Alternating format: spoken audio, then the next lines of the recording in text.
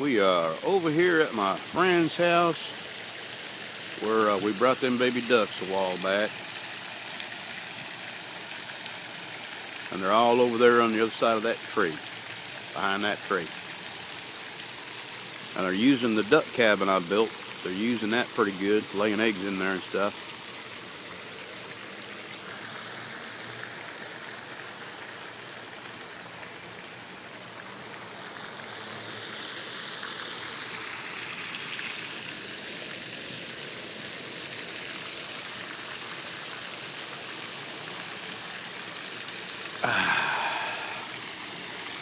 I won't be doing any more videos of my face because uh, it's almost as hard to look at as I am one ugly guy and Ironhead 41, Countryman. I don't think we're all brothers now.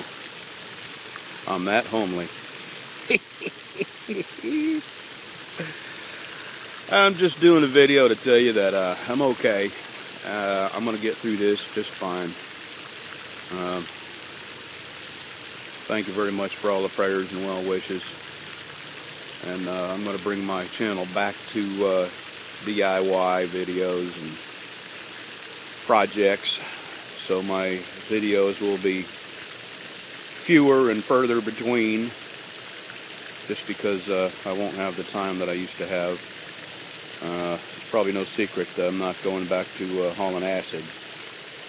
I'm going to have to work, but uh, it won't be pulling acid.